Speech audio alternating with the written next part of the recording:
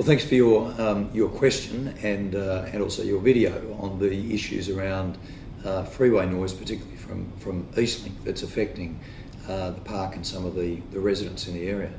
Um, the policy that Vic Roads has had in place has been in place for well over a decade, and that is that um, they intervene uh, to put in place noise attenuation where the sound levels are more than 68 decibels. As a government, what we've done over the last uh, decade or so is spent, I think it's $160 million on noise walls in 25 different locations.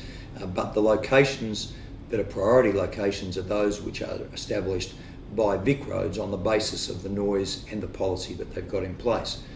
Uh, in our recent Victorian Transport Plan, we put aside a further $100 million for noise attenuation, and so that'll make some difference at some of the, uh, the noisiest areas across our freeway network.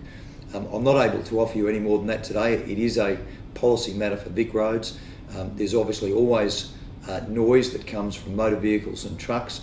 Uh, we are also putting in place measures in the heavy vehicle industry to try and reduce the noise that comes from those heavy vehicles.